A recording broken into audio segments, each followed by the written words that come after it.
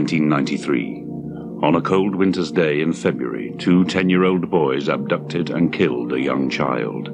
It was the darkest hour in the story of children and crime. The aftershocks of the case reverberate to this day.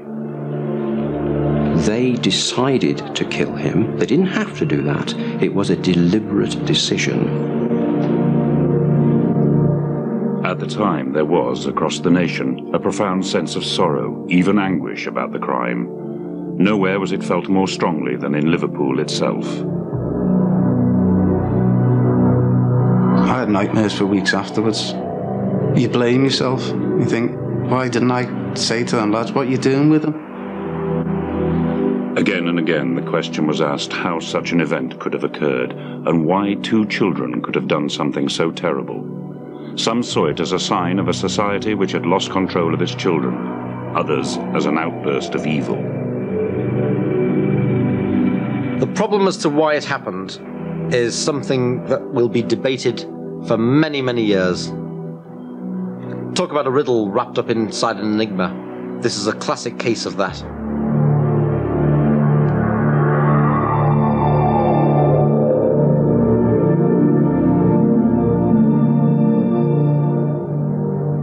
On the afternoon of Friday, February the 12th, 1993, Denise Bulger took her two-year-old son James to the Strand shopping centre in Bootle.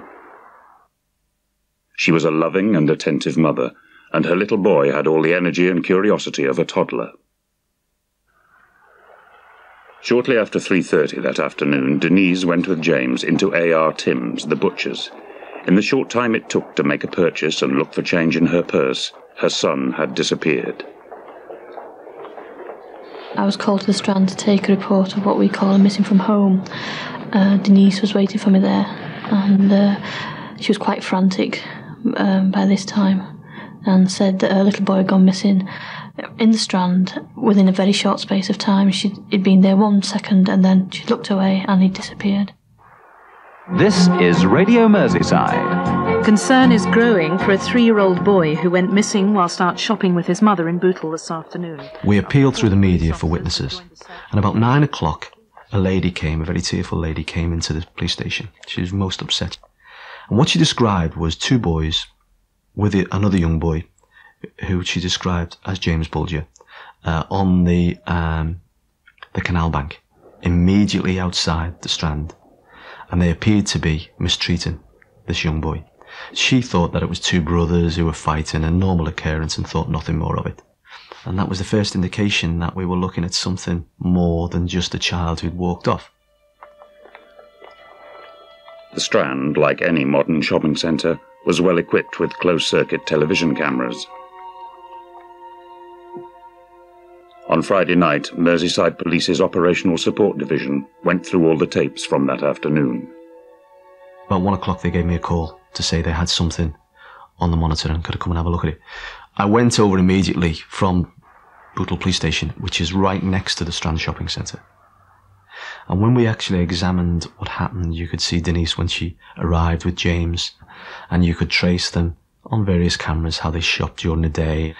And what you got from the cameras was Denise going into the butcher's shop, uh, and then James walking out, just toddling out, uh, and then disappearing.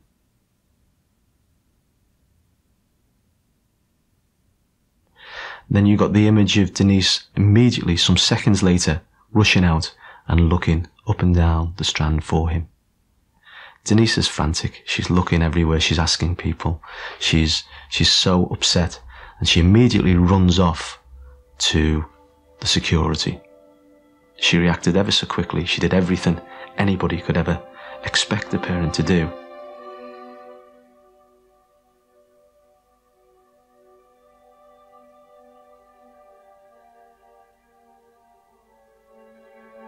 James was being led away by uh, two young boys. Immediately then, it confirmed the witness that who'd stated earlier that there were two boys on the canal bank. It then became very worrying. The police thought the two boys captured on video must be teenagers. Denise Bulger, seeing her son in the company of two youngsters, was reassured. At first, Denise was very comforted by that because it was felt that it's two boys, you know, what possible harm could come to James. Whereas if it had been um, a man or, you know, a woman leading him away, there would have been more immediate concerns.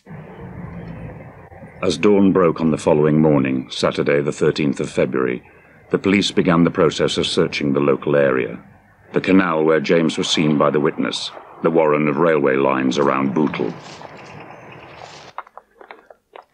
once the Saturday progressed and the publicity went out, and we felt that most people in that area would have known about the boy missing, then by the time the Saturday afternoon, Saturday evening came, I think of our own minds then we had to resign ourselves to the fact that he wasn't going to be recovered alive. Following the publicity about the missing boy, a security guard in Bootle decided to check his videos on the off chance he might see something. He did and alerted the police. The significance of this particular video was that you could compare the size of all three boys and the wall. And it was such that the wall, when we stood next to it, was so small, you realised that our interpretation of the size of the boys who'd taken James was, was out, and that these boys were possibly a lot smaller than we had originally thought. The next day, Sunday the 14th of February, 48 hours after James Bulger went missing, four boys playing on the railway line in Walton made a gruesome discovery. I remember the phone call coming through to say that a body had been found. And really, you, you, had no need to convince yourself. You, you automatically knew what it was going to be. We immediately made our way from Bootle to the railway line where the uniform officers and the local CID were waiting and had preserved the whole area. Uh, there, on the railway line, right next to the police station, was James's body. Uh, the sight was horrific. Uh, it was devastating, but immediately you knew it was James. To the police's horror, it was obvious that the little boy had been tortured. His clothes removed, paint thrown at him, he had been stoned and beaten to death. His body was then placed on the line in a naive attempt to make his death seem an accident. Detectives say an unknown weapon was used to murder the boy before his body was taken to the embankment. But at a news conference, Merseyside Police refused to give details of the injuries he suffered. I think it's very hard in the words of the English language to describe it. All I will say it's horrific and it caused both of us a great deal of emotional upset last night. Morning. Were you on the rank on Friday, sir? I wasn't working Friday. You weren't working? No. Were you in the area at all? It was now a full-scale murder inquiry. Given the horrific nature of the crime and the fact that it seemed to have been committed by two young boys, the police came under tremendous public pressure to make arrests, and as time passed, more witnesses were found. Morning. Which one was you yesterday? The police were coming down the rank and uh, asking us, did we see anything? I mentioned to them about them dragging this little lad up. The policeman said, right, pull your cab out, park at the front, come with us. David Kay told the police that he had seen two boys with a toddler come out of the shopping centre. I heard kids shouting, looked over, there's two lads, one of them's got hold of, I know now, James Bulger's hand dragging him up. And he just, uh, the kid didn't want to go. I just naturally thought, brother, being a little pain and that. So then he picked him up, literally dragged him up by one arm, held him, so his body was across him. And um, they walked up. The only reason I remembered them picking him up that way is because my eldest picked the youngest up then the same way, because he was awkward to carry. One thing I did notice, Jamie Bulger was like well dressed. These lads were a bit scruffy. Just looked a bit out of place.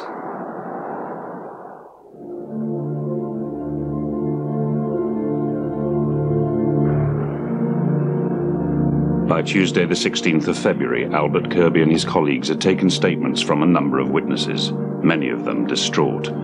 Together with the video evidence, the police now had a fairly accurate picture of the two mile forced march to which James had been subjected from the shopping centre to the railway line in Walton.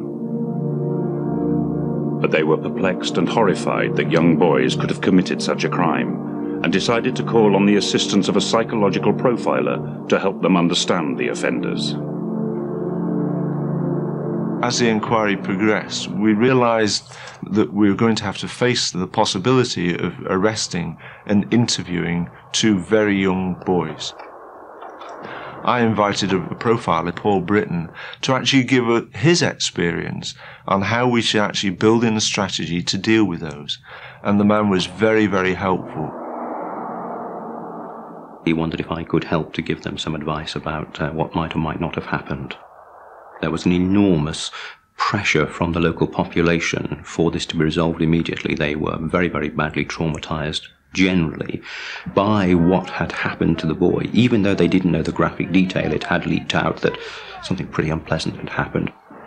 There's nothing to see. Angry crowds had gathered when police arrested and then released one young suspect. You must have him in there. There was what was amounting to a vigilantism beginning to develop, and there were public order difficulties that were certainly having to be dealt with. By studying evidence of the abduction two days before, Paul Britton was able to provide a psychological photo fit of the suspects. He built up a picture of the abduction from the Strand, starting with James Bulger slipping free from his mother's hand. He had a detailed description of the route which the boys took. You can be standing in a very busy city street with all sorts of traffic going on, and in the space of um, ooh, 10 or 15 seconds, go down a, a flight of stone stairs, you're into a very quiet, isolated world, the old canal communication system. And uh, there is evidence that they took the boy there, and he was known to have been distressed somewhere at that point. 38 witnesses had come forward and told the police what they had seen. After a mile or so, the boys and their victim came to Breeze Hill Road and crossed to the covered reservoir. It was here that one witness had actually confronted the boys and asked them what they were up to.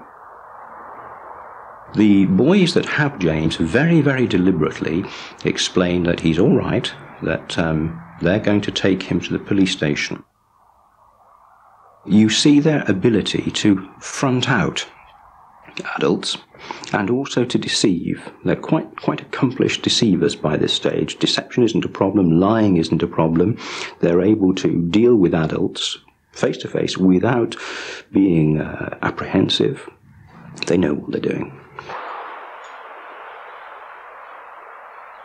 we make our way across uh, the remaining major streets, and then we turn, um, really, I suppose, for the last time, away from the adult world, and we go on to the, the sideways, the, the, the, pathways that run behind the houses and between the houses.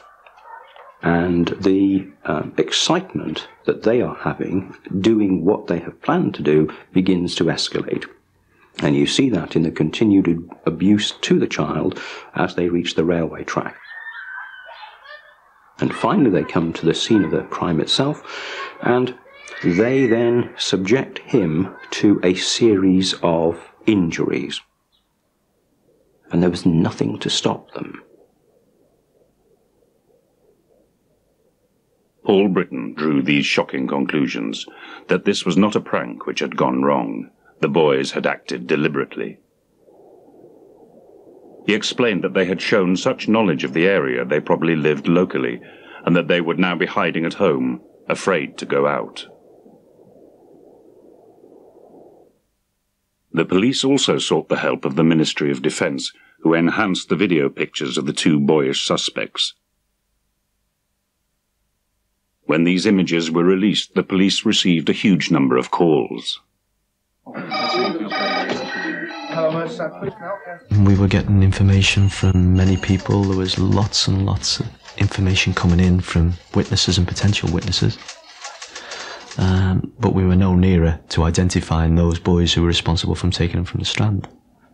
Our inquiries now indicate to us that in all probability both of Albert Kirby presented the media with further details of the murder in an effort to jog people's memories At a press conference, he said that blue modelling paint and batteries had been found at the scene. The forensic tests show quite clearly that both of them uh, have been in contact with James's body at the time that he would have been injured. Albert Kirby's information was crucial. On the 17th of February, a woman came into a local police station. She said that she knew a neighbour's son had been truanting on the day of the murder.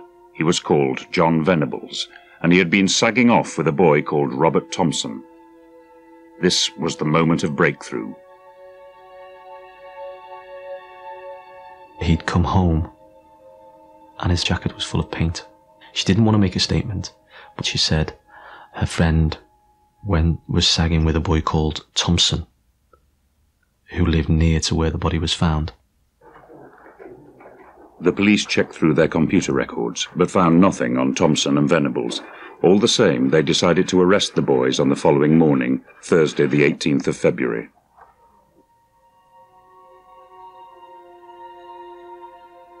At 7.30 in the morning, Detective Sergeant Phil Roberts went with three colleagues to Walton Village.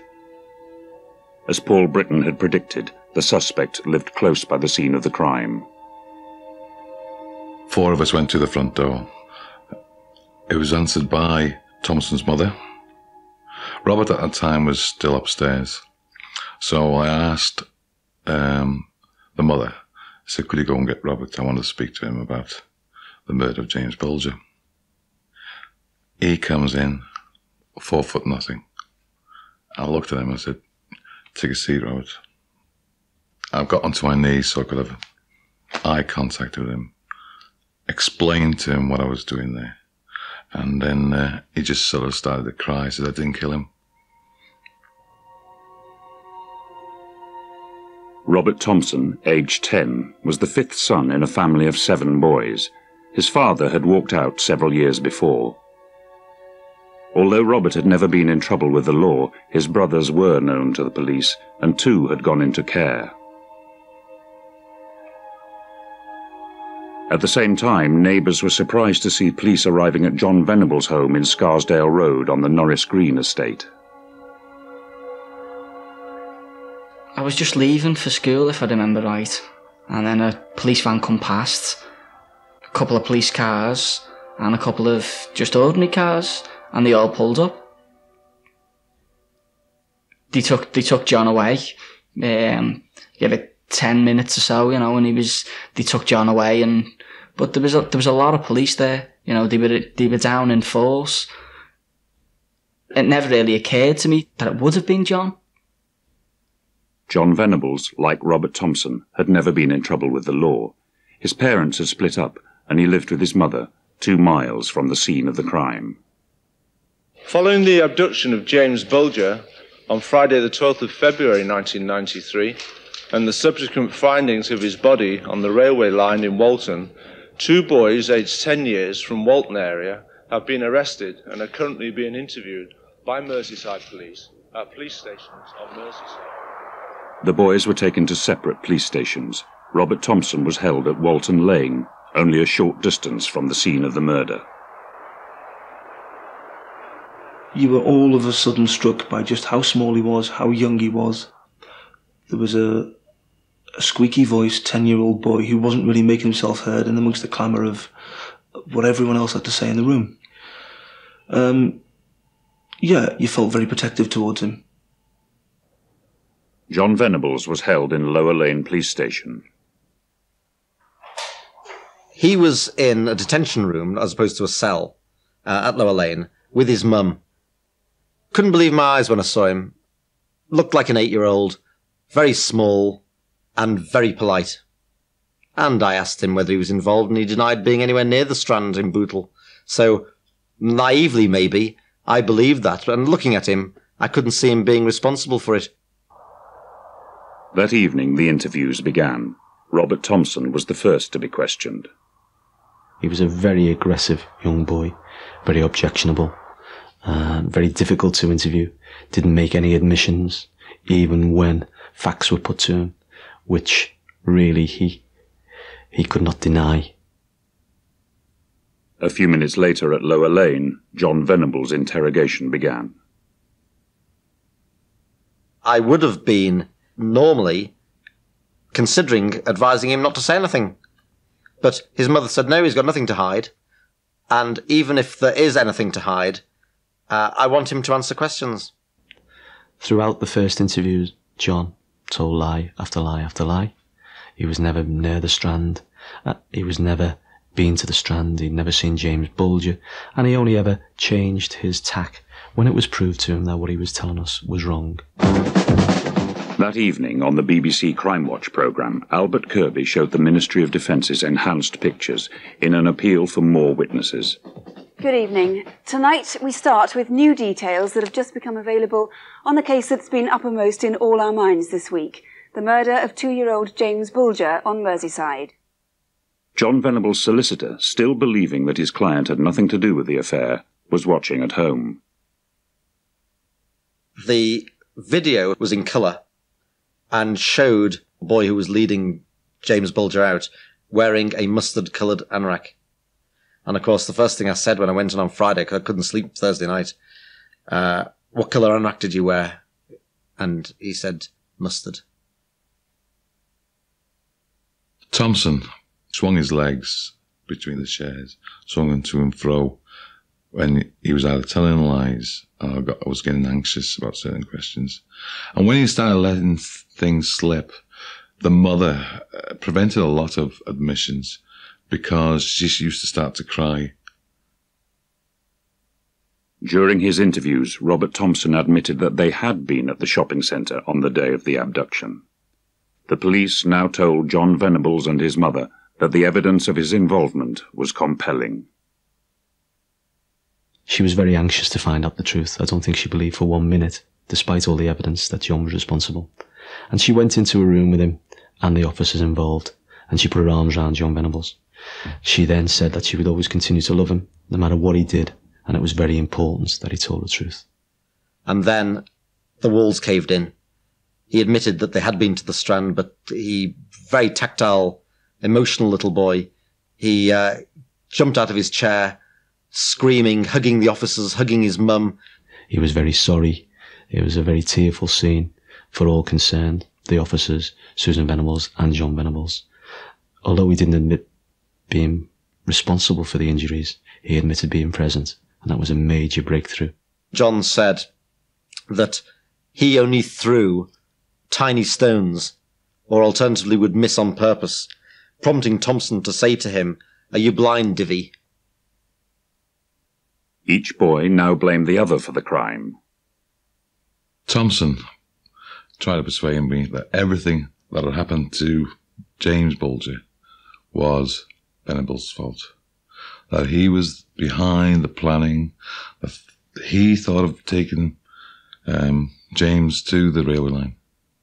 And uh, he just never wore. At 6.15 in the evening of 20th of February, after three days of interviews, Jim Fitzsimmons charged John Venables with the abduction and murder of James Bulger. I went down and charged him formally. His mother and father were alongside him, uh, and his solicitor, and John Venables cried. And his mother was crying. That was quite an emotional time, for them as well as everybody else. I went to Walton Lane Police Station immediately afterwards, and I charged Robert Thompson. Robert Thompson didn't say anything. There was no emotion whatsoever from Robert. Following tremendous public response, at 6:40 p.m. today, Saturday the 20th of February 1993, two 10-year-old boys from the Walton area have been charged with the abduction and murder of James Bulger. Two days later, on Monday the 22nd of February, the boys were taken to South Sefton Magistrates Court in Bootle for a hearing. Media interest in the case was enormous. Television crews and photographers from all over the world came to Bootle to get a shot at the boys. Public anger too had been building for some time in Liverpool, both against the boys and the intrusiveness of the media. A menacing crowd gathered outside the court, waiting for the boys to come out. Stick her off for the maidens! Fucking kids. You're going to give his family 500 fucking pounds, are you? Robert, for one, was terrified by the the media interest and the public interest because he saw the two as being the same. The, the, the crowd outside the South Sefton Magistrates Court when he made his first appearance was probably about half reporters and half people who wanted to try and get him out of the van. This was a string him up crowd.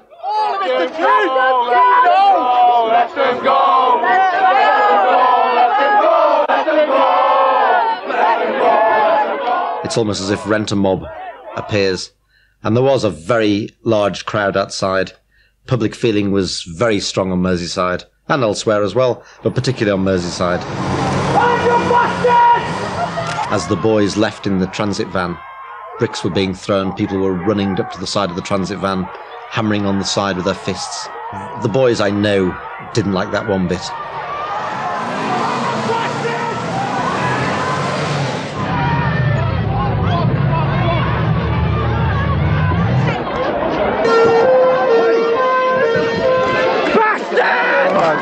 Okay, lads, come on. The public anger and national attention had a strong impact on the boys' outlook. Already deeply traumatized, each now became withdrawn, refusing to talk about the crime except when blaming the other.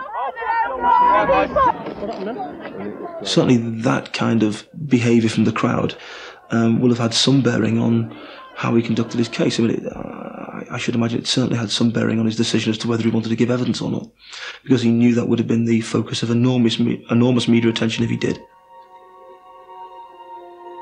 Never before has a crime by children against a child caused such national anger and upset. To the experts, this was not so much a response to the crime itself, but arose from the very public way in which it took place. I think it was triggered by a very unusual visual image of the offence starting, and I think it's that that was in people's heads, and it's that that made the thing take on a life of its own. The video perpetuates the sense of helplessness, powerlessness, and inability uh, as an adult to intervene in the start of what was a pathway to a young child dying. I think most parents and grandparents would be wanting there and then to intervene and to alter it. Everyone was prepared to feel that that child belonged to them. Then um, we know that that child, our child, has been most grievously murdered and terribly hurt. And so we then have a feeling of outrage.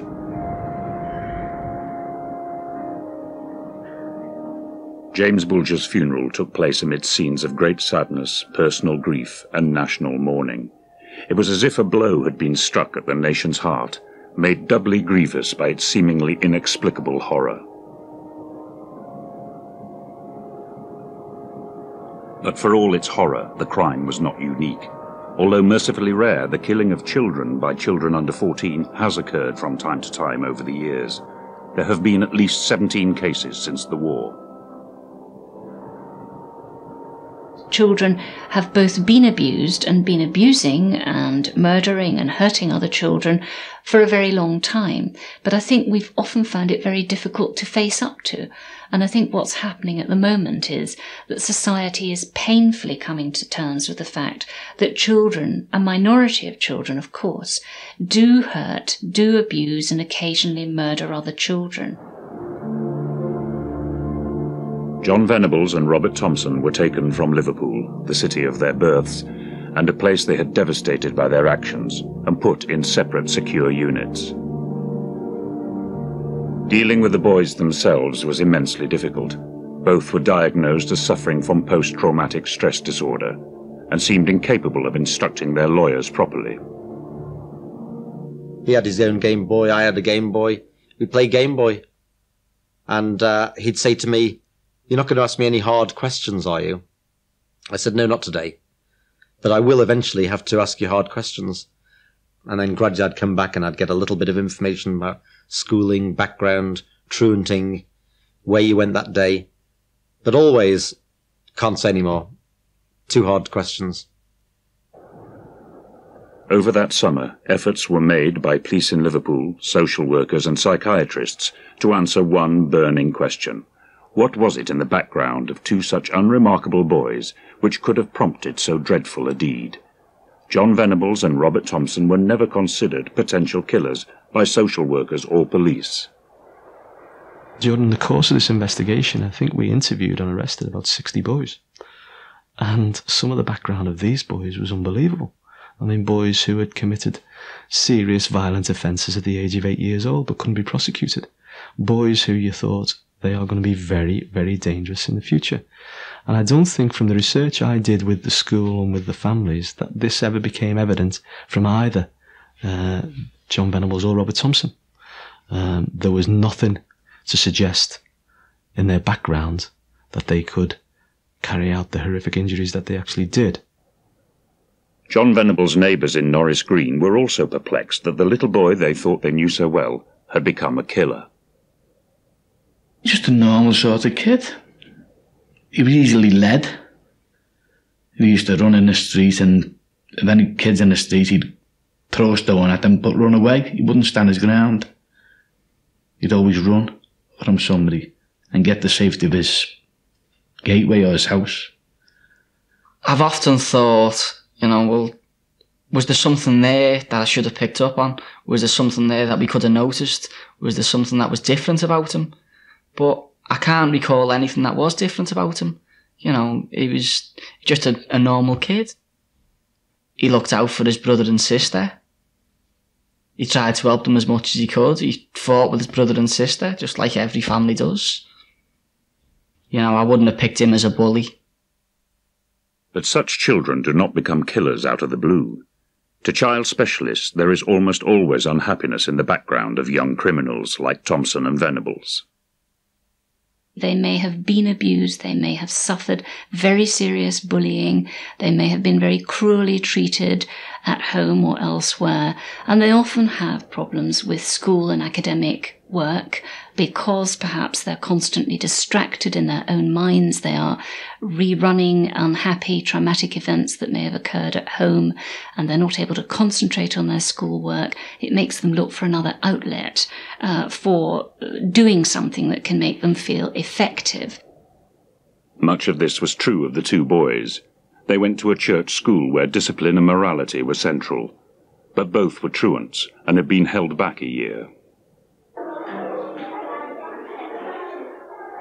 This home video was taken at a school party six months before the killing. Robert Thompson is the little boy circled.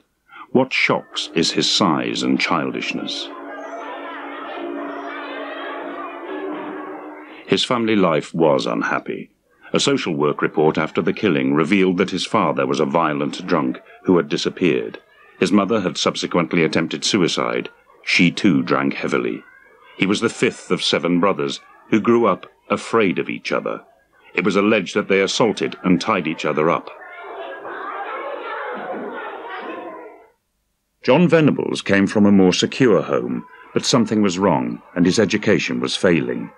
A teacher from his previous school wrote a report in which she described his disturbed behaviour, how, among other things, he attacked other children, hung himself upside down from coat pegs, lay under chairs, and stuck paper all over his face people will say, well, there are thousands upon thousands of children who have these negative experiences and they don't all go on to do this. And when they say that, what they are implicitly wanting you to accept is that there isn't really the connection between those background factors and this terrible event. Well, of course, not everyone goes on to do this, because for many people there are other mediating factors in their experience. They come across particular teachers at school, they come across other friends, they come across people from other families that provide alternatives. The key thing about the children that killed James Bulger is that they didn't find those external sources of correction, they found each other. This was the tragedy. No social worker, teacher, or professional picked up the signs that these two boys were out of control. Like so many boys who fall into crime, the boys would spend hours together out of school in their own world of petty thieving and idleness, shoplifting, and hanging around in the Strand. On the day of the abduction, the cameras show they had truanted for more than three hours in the shopping centre, even trying to pick up another boy before they took James. they would have started off with some sort of general conversation that had nothing at all to do with um, killing a child or James Bulger. Just the ordinary sort of boastful conversation that two youngsters have. And at some point, it comes to do with beating somebody up, hurting someone, killing someone. Oh, no.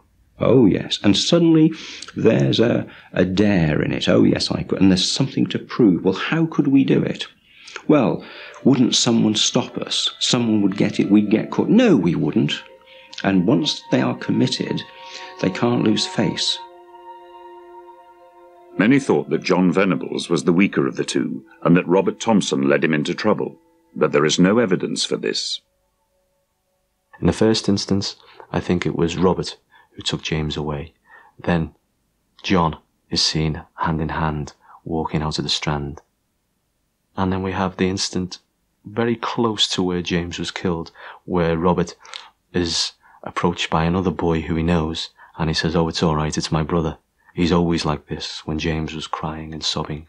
So, for me, the evidence suggests that both boys took the lead at various times.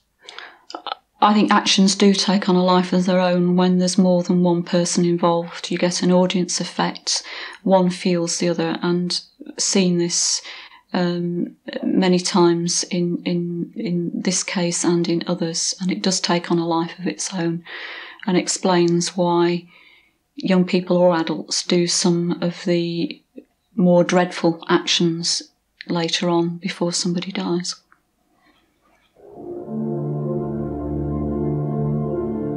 Nine months after the murder, the two boys now faced the full majesty of the law, a trial in open Crown Court. The purpose of the trial was to establish the boys' guilt, not the reasons for their actions. The case was heard 30 miles away at Preston, so as to avoid a repeat of the ugly scenes in Liverpool. Nevertheless, there was enormous interest. The boys were the youngest children to face trial for murder this century. Many thought it outdated and wrong to deal with 11-year-old boys in this way. On the 1st of November 1993, the two boys were brought from their separate secure units for trial. Both had pleaded not guilty to charges of murder and abduction. They were sitting on a dock which had been built up specially so that they could be seen properly.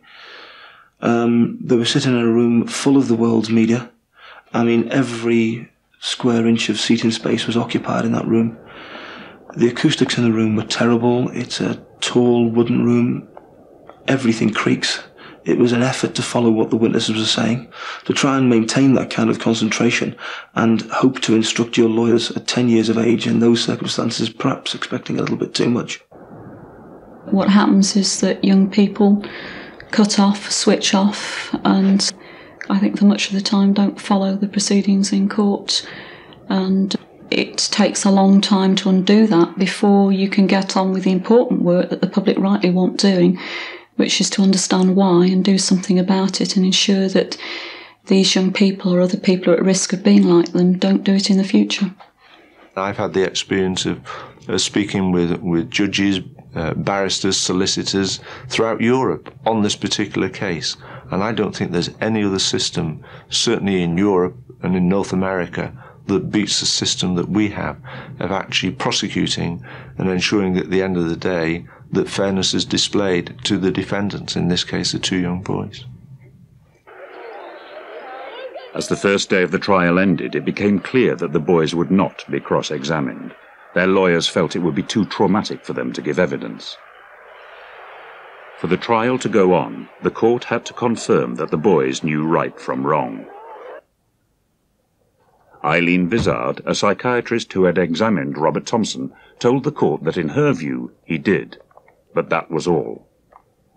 There was very little opportunity to actually tell the jury, tell the court, what my assessment of this boy had produced, what my feelings were about the reasons for him committing this very serious crime, what my understanding of the relevance of the background factors was, and how, in my view, it all knitted together to create a very familiar yet sad picture of a disturbed boy committing a serious crime. but no psychological evidence was heard. Instead, those who had witnessed the abduction were summoned to be cross-examined. All the press were there, photographing us as we're getting out, and that was terrifying. It felt like you were on trial. But when I was in the court, looking down at the two lads, they looked. It reminds me of my two lads. Innocent, wouldn't hurt a fly. They were just sitting there until you realised what they'd done. I won't forget their faces for a long time. I had nightmares for weeks afterwards, you know, thinking if I, only if I could have done something and, but, you know, you blame yourself. There isn't a day goes past I don't think about it. You know, we just gotta live with it, basically now.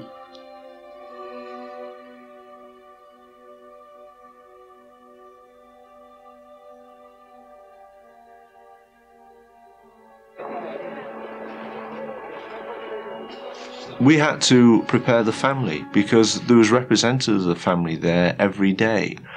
We had to go through a process with them to make them aware of what evidence was actually going to be heard in court that day. It was really was a very chilling and a, and a very emotional process to have to go through. Ralph went for the first few days to court, and then thereafter, he said that he didn't want to go because he was he felt he was too close. He was within such a touching distance almost of the two boys, and he couldn't cope with that. He didn't want to be that close to them. I don't think he was ever going to physically attack them or anything like that, but he just couldn't stand being so close to them after what they'd done to James. As the the evidence developed in court, and then in particular then when you got down to the forensic and the pathology evidence, you could witness amongst the jury, members of the public, people crying quite openly and quite unashamedly, and so they should have been.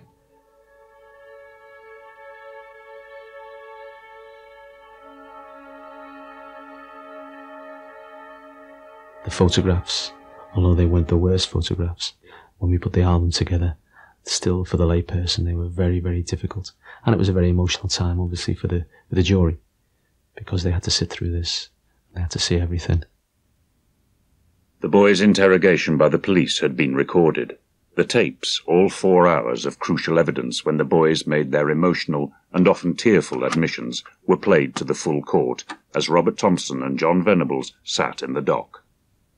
The two lads had to listen to themselves, probably at some of the worst times in their life, they had to listen to themselves crying, distressed. Th- this was possibly, although I've never asked him specifically, but this is possibly, I would, I would suspect, one of the most difficult things about the trial for Robert and, and, and I presume also for John. Three weeks after the opening of the trial, the jury retired to consider its verdict. On the following day, the court reconvened. For the first time, Denise Bulger came to Preston to hear the outcome of the jury's deliberations. The foreman of the jury was asked to stand. Clerk to the court asked him whether or not he'd reached a verdict. He said, Yes, we have. Is that verdict one of guilty or not guilty? Guilty. The emotion that enveloped the court was as great as it was at 9.30, 10 o'clock on the opening morning. There were cries of horror from the Venables and Thompson camp. There were cheers of delight from the Bulger camp. Um, the two boys had to actually come and face the family as they went down the steps, and um, that's the first time really you got a good look at the faces, and they seemed. Um, there didn't seem to be any sort of contrition at all with them. It was all sort of. They were obviously upset, but I, I didn't feel they were upset for James. They were upset for themselves because they'd been caught. I think Denise needed to see them to rest in her own mind. She needed to see the two lads who had killed James. I think that was it, and that's why she went on the last day. John Venables, like Robert Thompson, had never spoken about his part in the murder, other than to say he was innocent while blaming his friend. He was absolutely distraught. Brian Walsh was our QC, said, Listen, John, the future's in your own hands. At some stage, you're going to have to talk. Because the amount of time that you spend in custody depends on how you get on in the future, how you how you become rehabilitated, uh, and you won't become better. And he had to put it into simple terms like that. You won't become better until you've spoken. The boys were driven off after being sentenced to be detained at Her Majesty's pleasure. By finding them guilty of murder, the jury was satisfied that Robert Thompson and John Venables were of sound mind and had a clear intention to kill. These children are completely responsible for their actions, even though there are mitigating circumstances that help you to understand how they came to be in a position where they killed James Bulger. They decided to kill him. They didn't have to do that. It was a deliberate decision. They had the wherewithal to give him up at all sorts of points along the way. The trial had not sought an explanation why the boys had been motivated to kill. That remained a source of much speculation. Even the trial judge, Mr. Justice Morland, put forward his views in a special statement after the trial that violent videos might have been a cause. It was discovered that John Venables' father had rented many such videos from a local shop, including Child's Play 3, a horror film about a demon doll, but there was no evidence that John Venables had watched it. I don't think that there was any evidence that one factor, such as viewing videos or such as um, truanting from school, so there's no evidence that any one factor is what did it, what caused these boys to commit a very serious crime. Rather, it's a question of taking them all together and understanding the overall picture.